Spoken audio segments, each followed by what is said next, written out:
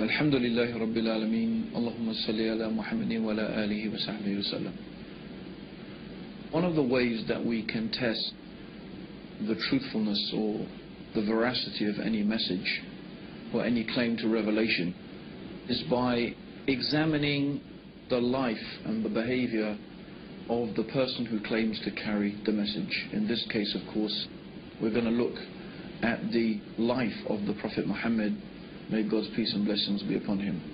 And we are going to look at the life of the Prophet Muhammad in an analytical sense, in a rational way. We want to ask ourselves uh, or pose three simple questions, or three variant possibilities. The first possibility is that the Prophet Muhammad, or that any person in fact who claims to be a prophet, who claims to be receiving revelation from God, we can apply these possibilities to that individual.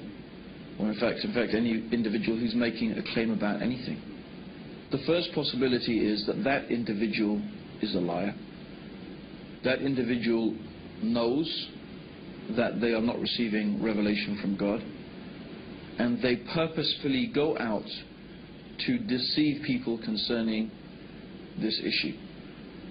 Now, obviously, such a character, such a personality would display various characteristics, and that there are certain things that would necessitate the effectiveness of such a deception. We'll examine those issues just in a minute. The second possibility is that the individual is not a liar, the individual sincerely and truly believes that they are receiving revelation from God. But they are deluded. They are perhaps suffering from some type of psychotic mental condition. Uh, perhaps they are suffering some form of delusion. But the person sincerely and truly believes that they are a messenger from God. They are not lying, they are not deceiving, they actually truly believe it. And such an individual also display certain characteristics, certain attributes, certain ways of behaving. And the third possibility is, of course, that that individual is telling the truth. That individual actually is indeed receiving revelation from God. What we want to do is apply this analytical approach to the Prophet Muhammad. And we don't have time to examine in depth and in detail the whole life and the character of the Prophet Muhammad. So what we want to do today very briefly is begin by discussing what the opponents of Islam have said in their arguments about the Prophet Muhammad. Now, being opponents of Islam, of course, they are not prepared to accept the third alternative that Muhammad, may God's peace and blessings be upon him, was a prophet. So they have to find some other explanation. They have to come to some other conclusion as to why Islam is the way it is. How did the information in the Quran come to be the way it is? How do we explain the behavior and the life and the teachings of Prophet Muhammad and the whole of Islam? Since they can't accept that he is a prophet of God, they must find an alternative, alternative explanation.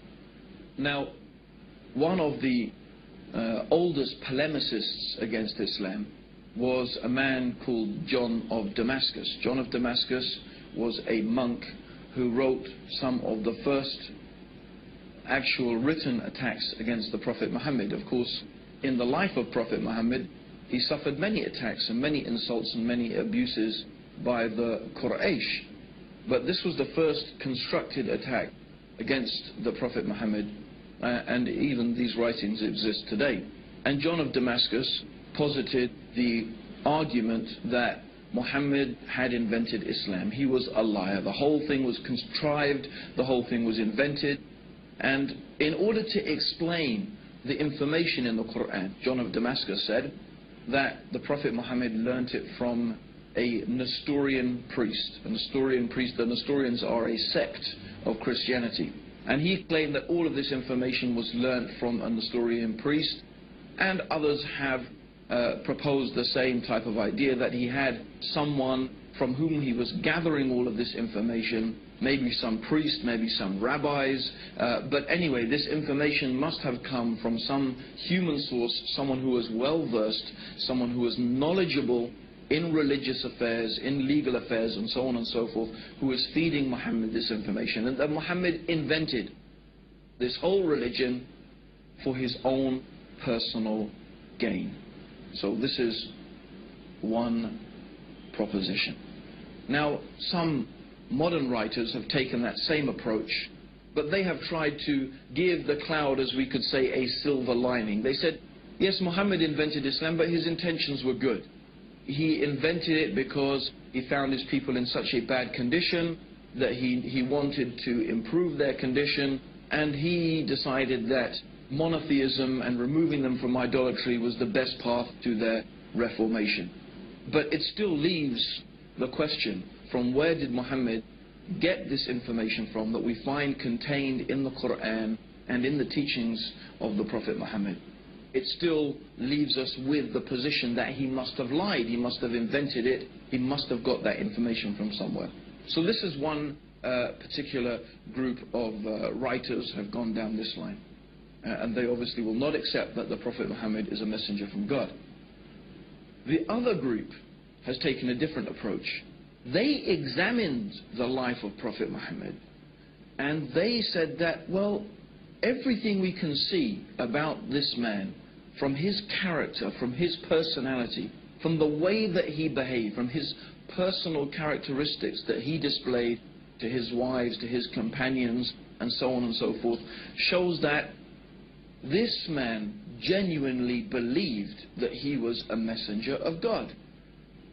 Because he did not behave in the manner and with the characteristics of a liar.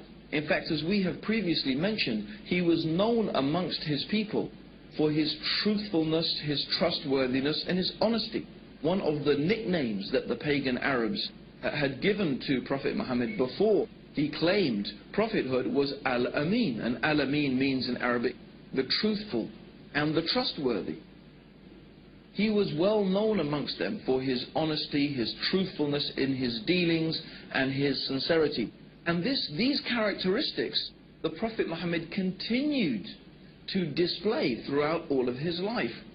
And so they said, well, the Prophet Muhammad manifested this apparent and obvious sincerity and truthfulness. We don't find duplicity in his character. We don't find deceitfulness in his character. So they said, no, we cannot accept that the Prophet Muhammad was a liar. Therefore, we believe that he was deluded. He was suffering from some psychotic condition, uh, some form of epilepsy, some neurosis that made him believe that he was a prophet but he was a very sincere individual, although concerning the issue of being a prophet of God, of course, we don't accept that. This is what they claim. Therefore, they explain the life of Prophet Muhammad, and they explain him by saying that he was suffering some type of delusion.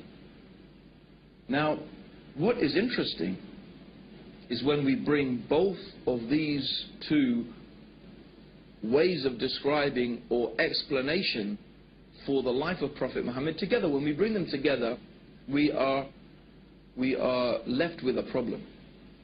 And the problem is this, is these two different ways of examining the life of Prophet Muhammad actually contradict each other.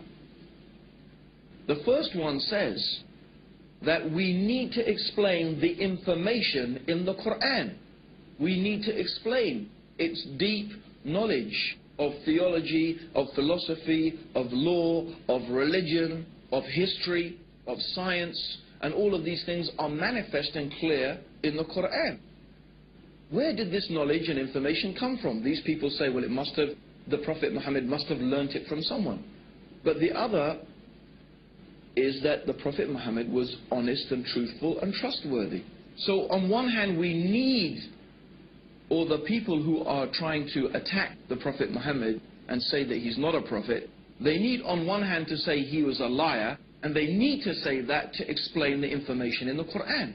On the other hand, they need to say that he was deluded, because that's the only way that they can explain his truthfulness and his sincerity. But of course, somebody can't be a liar and be deluded both at the same time. You can't be a liar and be deluded both at the same time. You can only have one or the other. But they need both in order to completely and properly explain the life of Prophet Muhammad. Let's further explain that. If you are deluded and you think that you're, you are a messenger of God, when someone asks you a question or you, when you are confronted with a problem, you don't think, oh, let me run off and ask my source of information, my rabbi or my priest who's teaching me things, because you don't need to, because you think God is going to reveal that to you. So a deluded person does not go off seeking information from someone or somewhere because that person